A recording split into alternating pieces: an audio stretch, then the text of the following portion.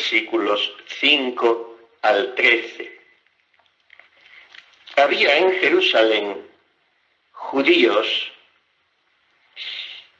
que allí residían, hombres piadosos, venidos de todas las naciones que hay bajo el cielo. Al producirse aquel ruido, la gente se congregó y se llenó de estupor al oírles hablar cada uno en su propia lengua. Estupefactos y admirados decían, ¿es que no son galileos todos estos que están hablando? Pues ¿cómo cada uno de nosotros les oímos en nuestra lengua nativa? Partos, medos y elamitas, habitantes de Mesopotamia, Judea, Capadocia, el Ponto, Asia, Frigia, Panfilia, Egipto, la parte de Libia fronteriza con Cirene, forasteos romanos, judíos y prosélitos, crestenses y árabes, todos les oímos hablar en nuestra lengua las maravillas de Dios. Todos estaban estupefactos y perplejos y se decían unos a otros, ¿qué significa esto? Otros, en cambio, decían riéndose, están llenos de mosto. Bien, ¿qué atrae a esta multitud?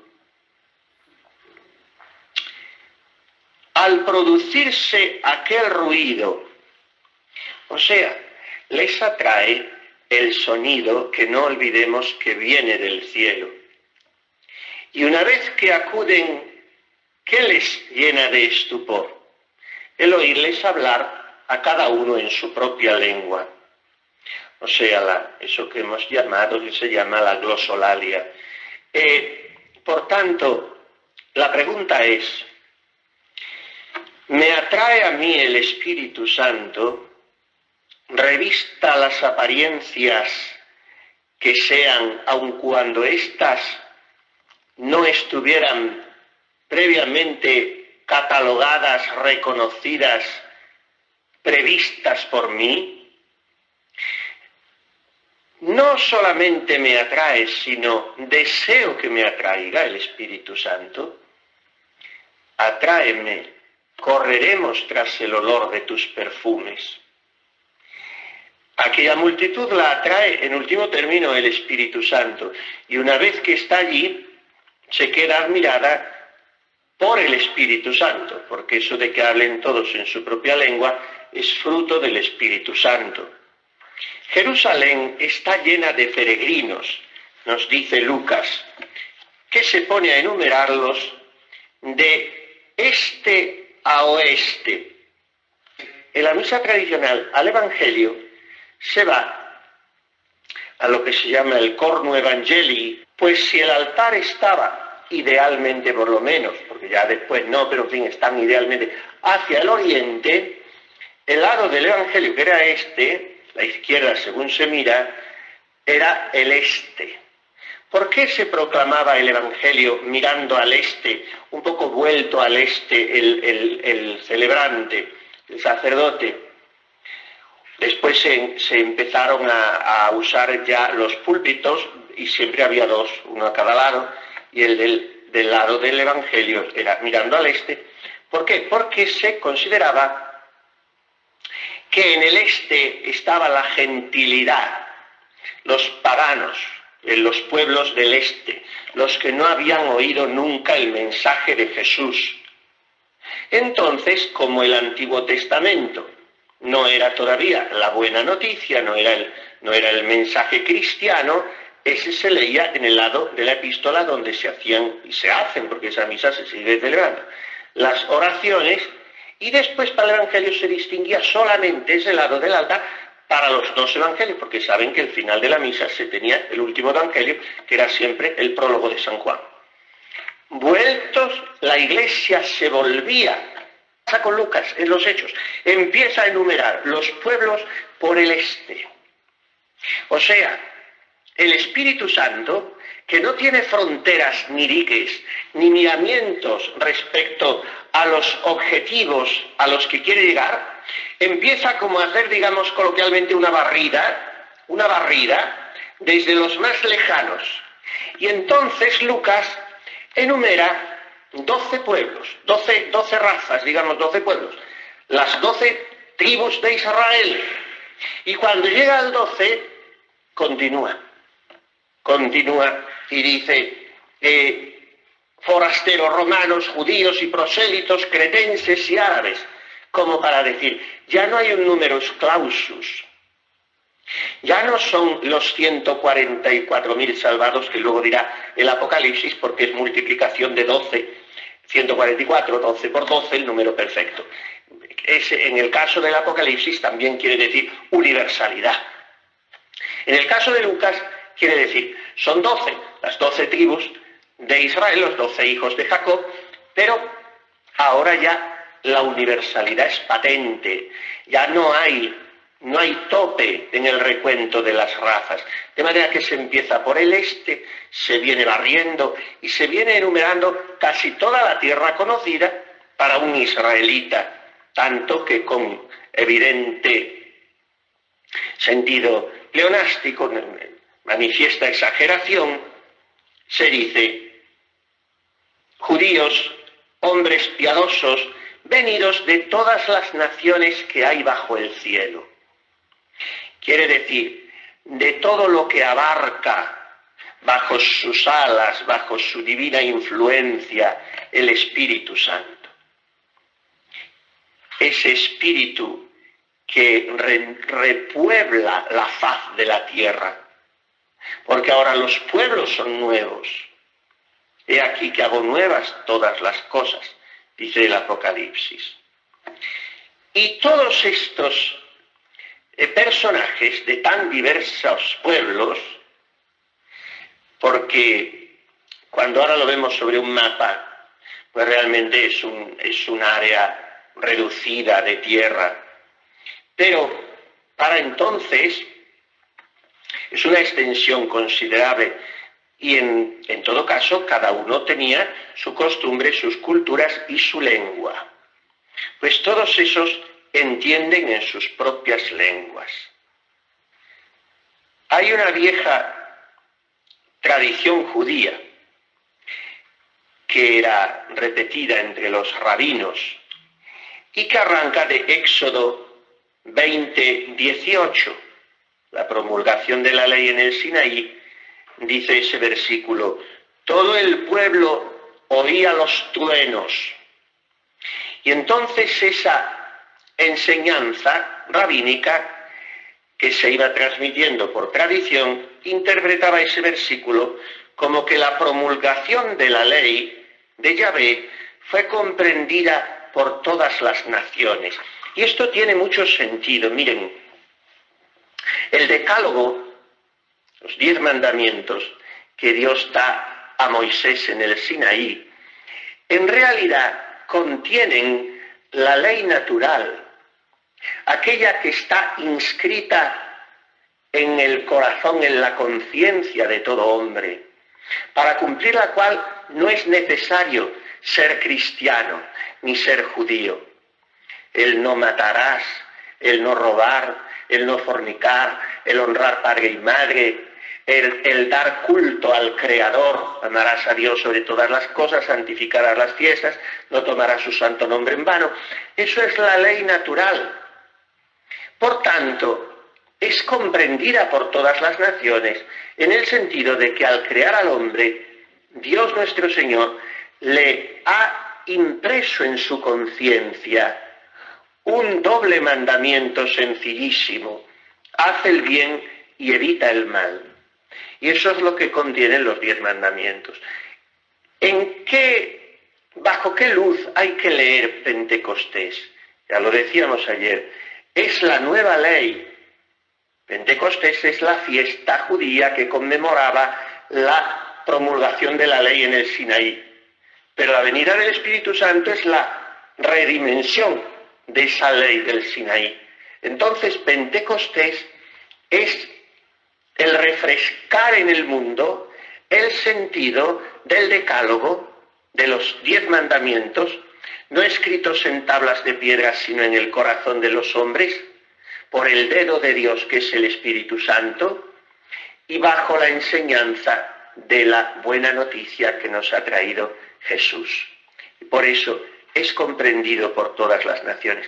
El don del Espíritu Santo restaura la unidad humana rota en Babel.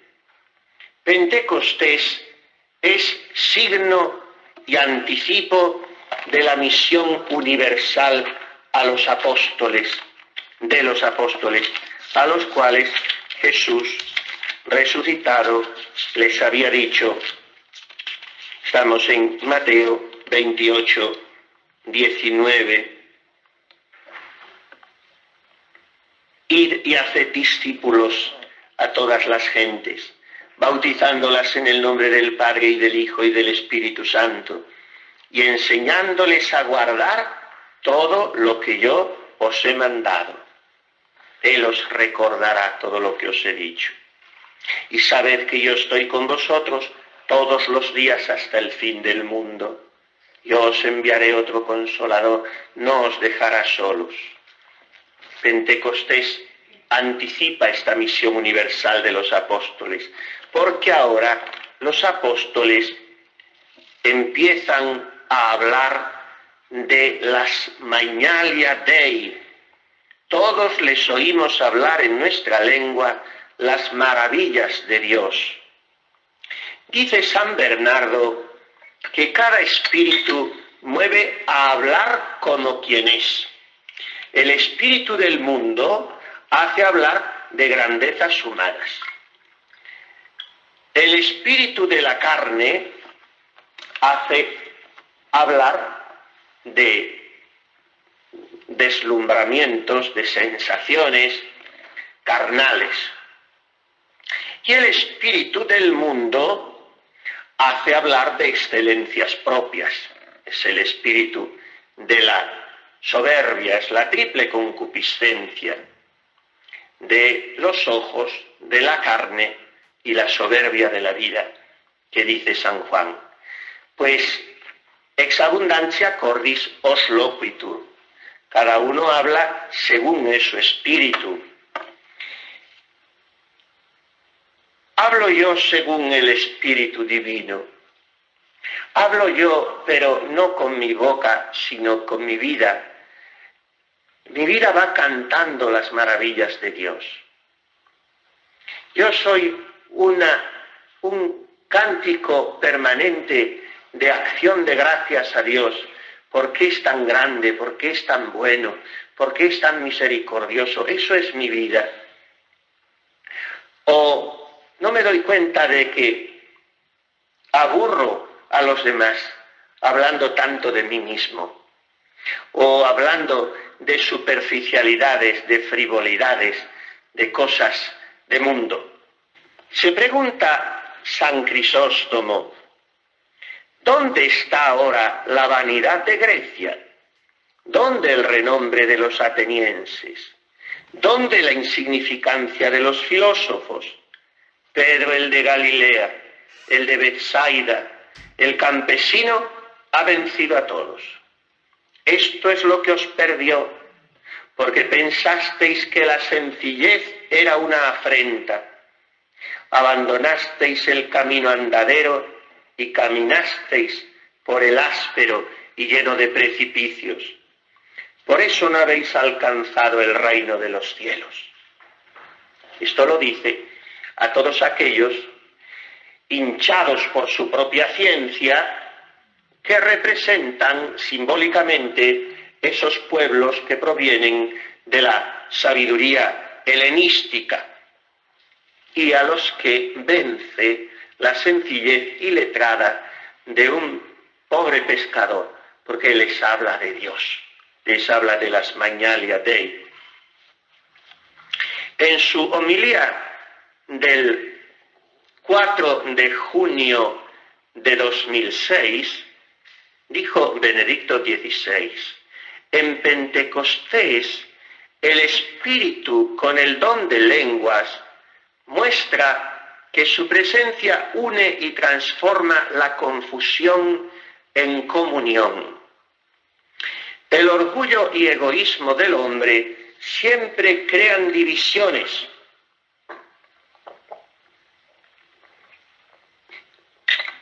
levantan muros de indiferencia odio y violencia.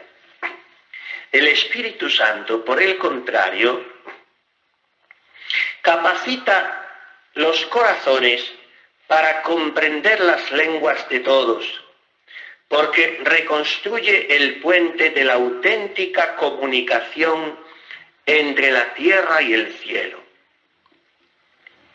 Y en la homilía de dos años después, el 11 de mayo de 2008, hace una profunda relación, estudia la relación que hay en Pentecostés entre la multiplicidad y la unidad. Y dice que en Pentecostés no nace una iglesia particular, la de Jerusalén, sino la iglesia universal, que habla las lenguas de todos los pueblos. Hay una visión teológica de los hechos de los apóstoles sobre el camino de Jerusalén a Roma. En el versículo 10 que acabamos de leer, después de enumerar en el 9 partos, medos, elamitas, Mesopotamia, Judea, Capadocia, Ponto y Asia, 8 Frigia, Panfilia, Egipto y la parte de Libia fronteriza con Cirene, o sea, doce, en enumeración de gentilicios, de, de nombres de pueblos, son doce, y añade forasteros romanos, judíos y prosélitos cretenses y árabes, o sea, es una lista abierta. Pero el primer pueblo que rompe, o sea, que digamos, que abre, que amplía la lista, una vez que ha enumerado los doce, son los romanos, forasteros romanos. ¿Qué significa?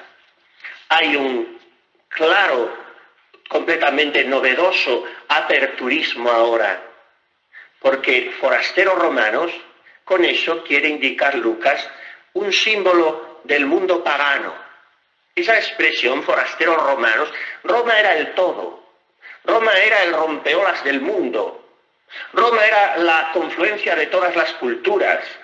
Roma era el punto de llegada de todos los pueblos. Aún lo decimos, por todos los caminos se va a Roma. Entonces, ese símbolo representa el mundo entero. La idea de catolicidad que tiene Lucas y que proyectan los hechos de los apóstoles. Los hechos realmente, los 28 capítulos que tienen y que iremos recorriendo poco a poco y a saltos, terminan cuando Pablo providencialmente, después de una serie de, aventuras y de vicisitudes increíbles, acaba llegando a la capital del imperio y anuncia allí el Evangelio. O sea, el fin de los hechos en la persona de Pablo, que es el gran protagonista de los hechos, una vez que después de los primeros capítulos Lucas despacha la vida de la primitiva comunidad, ya se dedica a contarnos las peripecias de Pablo, pues termina, todo hace confluir con que Pablo llega a Roma. Por lo tanto, Roma es el gran aperturismo del mundo al Evangelio y al Espíritu Santo. Y por eso es el don de lenguas todos comprenden. También pueden leer a este propósito la homilía, pero no tengo copiada todas estas, como le digo, de Benedicto XVI el 23 de mayo de 2010. Son todas las homilías del, de Pentecostés, en cada una de las cuales aborda un aspecto o dos o tres aspectos y lo hace de manera magistral. Están llenos de mosto. A nosotros nos resulta raro, pero entonces dejaban sin fermentar más de un año aquel caldo y entonces a veces tenía muchos grados como el vino y era más fuerte que el vino. Pues esa, esa sorpresa, ese estupor, esa perplejidad de los que oyen a los apóstoles hablar de las maravillas de Dios, se manifiesta en esta frase que aun siendo burlona o despectiva, es también profética. Están borrachos, están ebrios. Y era verdad. Cuando Pedro después sale al balcón le dice, pero no os habéis dado cuenta que son las nueve de la mañana, ¿qué borrachera vamos a tener? Pero eso tiene el sentido espiritual, efectivamente.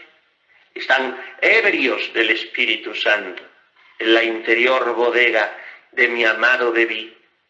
Y cuando salía, por toda aquesta vega ya cosa no sabía, y el ganado perdí que antes seguía. Me llevó a la celda del vino y ordenó en mí la caridad. Lo explica muy bonitamente, pero referido a la vida religiosa, Santa Teresa en sus meditaciones sobre los cantares, que tienen solo seis o siete capítulos y cada uno de ellos lo hace girar de una manera muy, muy personal como es ella y muy elástica en torno a un versículo de los cantares. Beber amigos y embriagaos, dice el capítulo quinto del Cantar de los Cantares. Pero ese capítulo anterior, esa cita anterior que hemos dicho, Cantares 2.4, trata de desarrollarlo en su canción 17, San Juan de la Cruz, 17 del Cántico, y glosa, declara ese verso en la interior bodega de mi amado bebí. Y entonces dice que esta bodega es el último grado de amor al que el alma debe llegar en esta vida. Y por eso es la más interior. Y en este sentido evoca clarísimamente la estructura que de la vida espiritual hace Santa Teresa en sus siete moradas. Porque son siete moradas concéntricas y en el centro y mitad de todas ellas tiene la más principal, que es a donde pasan las cosas de mucho secreto entre Dios y el alma.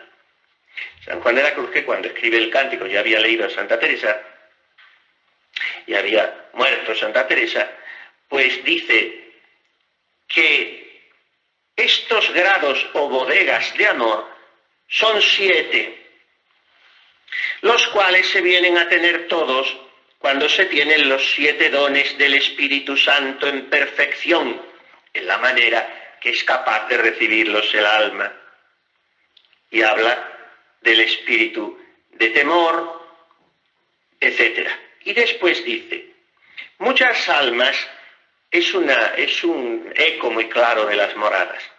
Muchas almas llegan y entran en las primeras bodegas, cada una según la perfección de amor que tiene mas a esta última y más interior pocas llegan en esta vida, porque en ella es ya hecha la unión perfecta con Dios que llaman matrimonio espiritual. Y lo que Dios comunica al alma en esta estrecha junta totalmente es indecible y no se puede decir nada, así como del mismo Dios no se puede decir algo que sea como Él. Y por eso, para dar a entender lo que el alma recibe en aquella bodega, dice, de mi amado bebí. Porque el alma recibe y bebe deleite sustancialmente. El entendimiento bebe sabiduría, la voluntad bebe amor, etc. Y cuando salía, o sea, aunque el alma siempre está en este alto estado de matrimonio, no está siempre en actual unión. Pues ahora dice el alma, cuando salía, no se entiende que sale de la unión esencial que tiene el alma, sino de la unión de las potencias. Lo explica también Santa Teresa, hablando en las, en las cuartas y quintas moradas de la oración de unión. Por toda aquesta vega, o sea, por toda aquesta anchura del mundo, ya cosa no sabía, y aquí quiero llegar y terminar, para explicar desde aquí la embriaguez, la presunta, supuesta, aparente embriaguez de los apóstoles que hace que se rían de ellos los demás hasta que les habla Pedro. Porque aquí comienza en el alma que recibe el Espíritu Santo el Neshivi, de la esposa de los cantares. El no supe más, ni quise saber más, ni me interesó cosa que no fuese Dios. Así lo explica San Juan de la Cruz. La bodega, que puede ser la primera, la segunda, la tercera, etcétera, hasta la séptima, si es la séptima es la unión de amor. Pero en todo caso, desde la primera es la vida de fe con Dios. Pues cuando es la séptima o aquella última a la que Dios quiera llevarnos, nos cambia, nos cambia de criterios, nos cambia de lenguajes, nos cambia de gustos, nos mete en Dios. Y entonces, por toda la anchura del mundo, por mi convento, por mi comunidad, por mí mismo, por todo, ya cosa no sabía. Y dice el santo, porque aquella bebida de sabiduría de Dios altísima que allí bebió, le hace olvidar todas las cosas del mundo y le parece al alma que lo que antes sabía, y aun lo que sabe todo el mundo, en comparación de aquel saber, era pura ignorancia. Y aquel endiosamiento con que queda, y aquel levantamiento de mente en Dios, en que queda como robada, en bebida de amor, toda hecha en Dios, no la deja advertir cosa alguna del mundo. Y así puede bien decir, ya cosa no sabía, porque no solo de todo, mas aun de sí, queda ajenada y aniquilada, como resuelta en amor, que consiste en pasar de sí al amado. Este no saber da a entender en los cantares la esposa, donde dice esta palabra, neshiri, no supe o ignoré. Esta tal alma poco se entremeterá en cosas ajenas, porque aun de las suyas no se acuerda. Y no se ha de entender que pierde allí el alma los hábitos de ciencia y totalmente las noticias de las cosas que antes sabía, sino que pierde el acto y memoria de las cosas en aquel absorbimiento de amor. Lo sigue explicando largamente para concluir. Y el ganado perdí, que antes seguía. Es de saber que hasta que el alma llegue a este estado de perfección, aunque más espiritual sea, siempre le queda algún ganadillo de apetitos y gustillos y otras imperfecciones suyas, ahora naturales, ahora espirituales, tras de que se anda procurando apacentarlos, en seguirlos y cumplirlos. Acerca del apetito, quedan imperfecciones de apetitos de saber cosas, a curiosidad, la curiosidad que mata la vida. Acerca de la voluntad, se dejan llevar de algunos gustillos y apetitos propios, ahora en lo temporal como en poseer algunas cosillas y asirse más a unas que a otras, y algunas presunciones y estimaciones y puntillos en que miran, y otras cosillas que todavía huelen y saben a mundo. Ahora acerca de lo natural, comen comida, bebida, gustar de esto más que de aquello, y escoger y querer lo mejor. Memoria, muchas variedades y cuidados y advertencias impertinentes que los llevan el alma tras de sí. Y luego acerca de las cuatro pasiones del alma, esperanzas, gozos, dolores y temores inútiles, tras de las que se les va el alma. Y este ganado, unos tienen más y otros menos, tras de que se andan todavía siguiéndolo, hasta que entrándose a beber en esta interior bodega lo pierdan todo, quedando deshechos todos en amor. Y así se siente ya el alma libre de todas aquellas niñerías, de gustillos y disgustillos e impertinencias tras de que se andaba. De manera que pueda bien decir, el ganado perdí que antes seguía. Pues esa es la borrachera del Espíritu Santo, esa es. Perderlo todo